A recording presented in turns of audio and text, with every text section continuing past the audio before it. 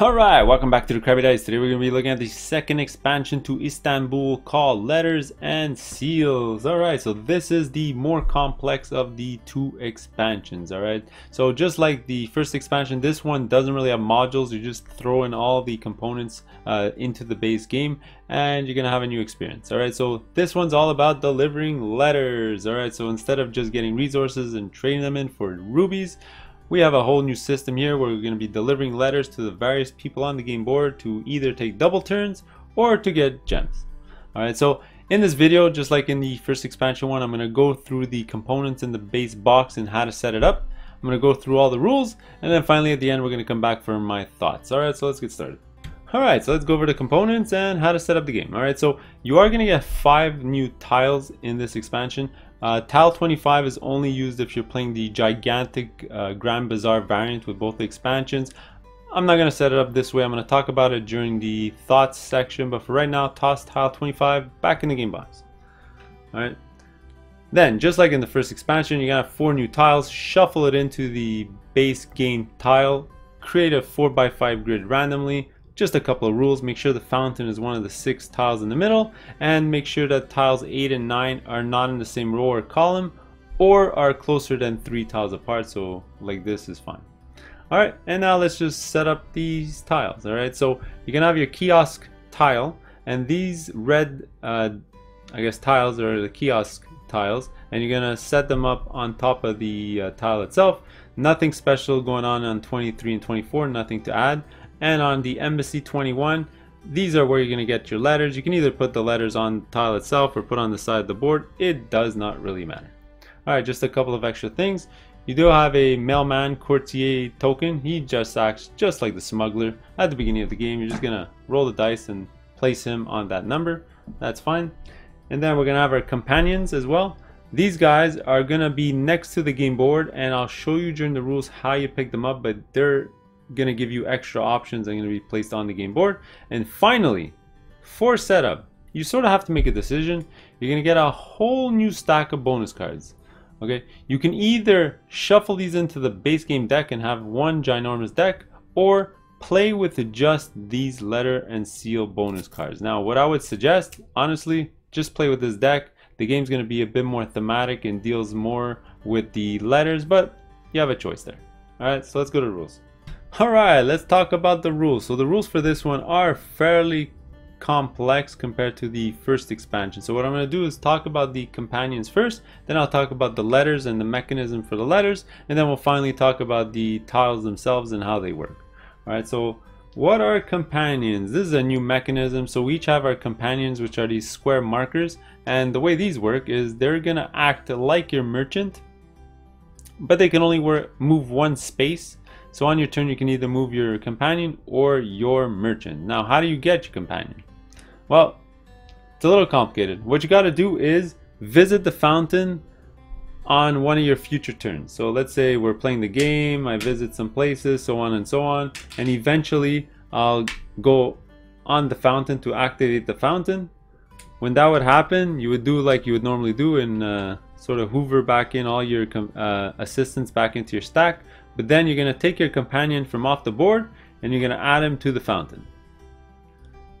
Now in the future, if your companion's on the board, you can either move your companion one space horizontally or vertically and perform an action just as if he was the merchant or move your merchant one or two spaces just as per normal. Alright, so I can move my companion one space and activate the space. Now he acts exactly the same way as a merchant. If other players' merchants are there, you're gonna have to pay the two coins.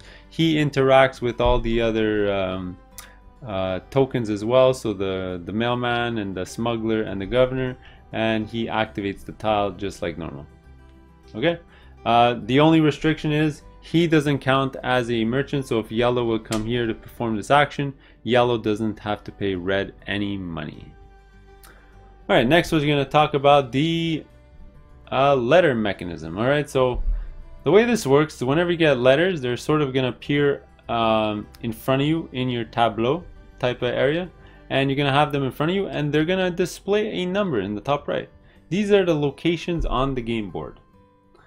Alright, so let's see. Uh, so let's say I had these two letters in front of me and one of them is a 6.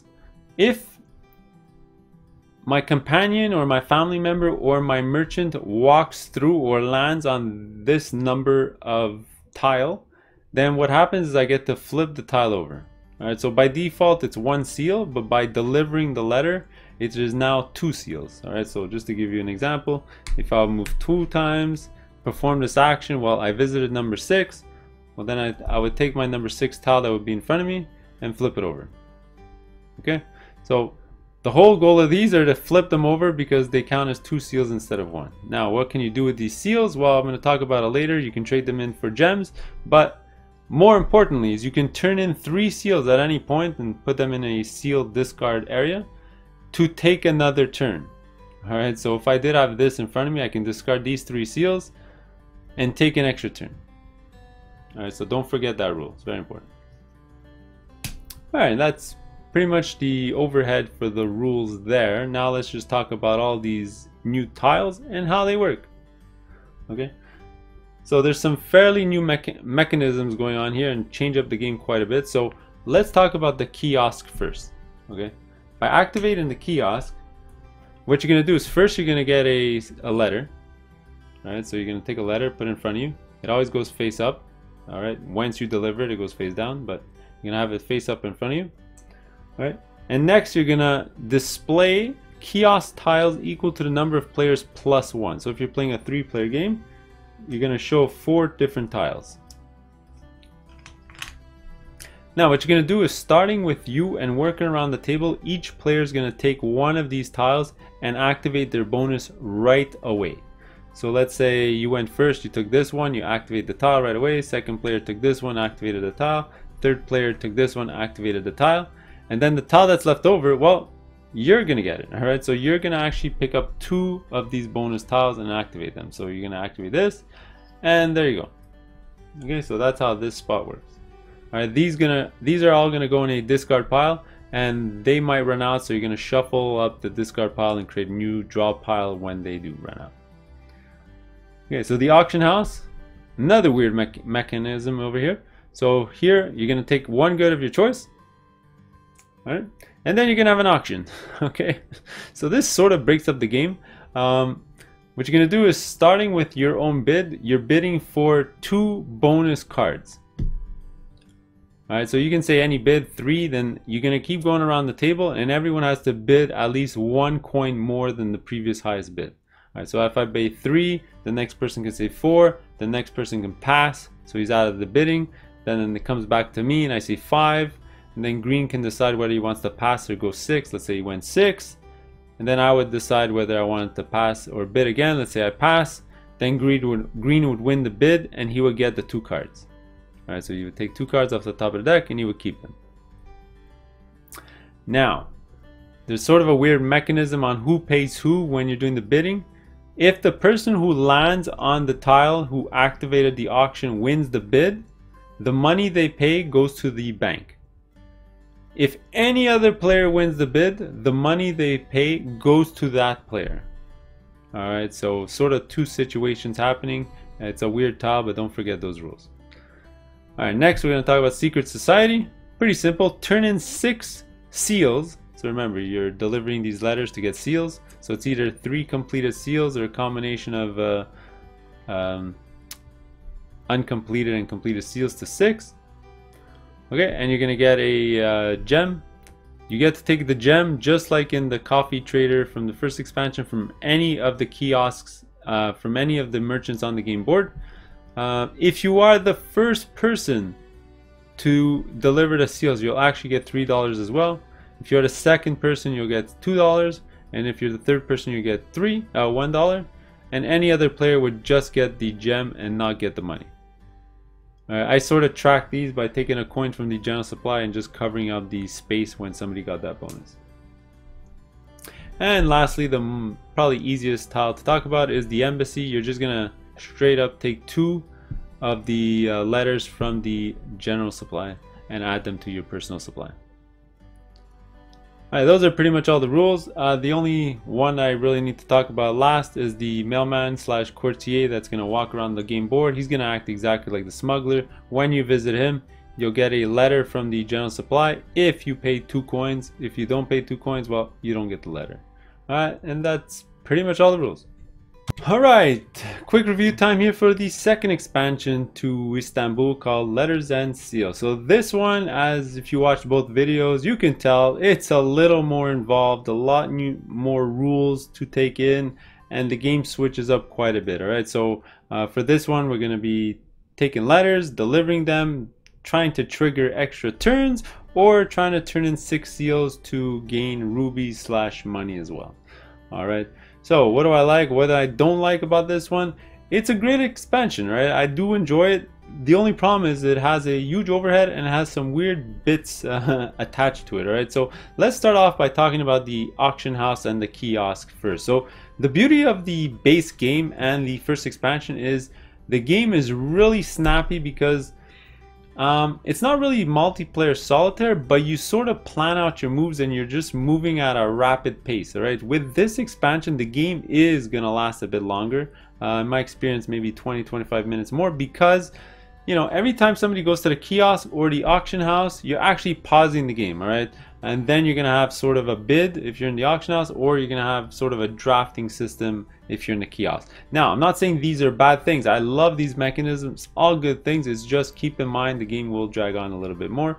And what's gonna happen is the kiosk, you're doing a drafting thing where you're gonna be drafting bonuses, and in the auction house, this can take a while, but you're going to be bidding coins to grab two bonus cards, and you know what? That can be significant if somebody can get a couple of bonus cards for uh, for cheap.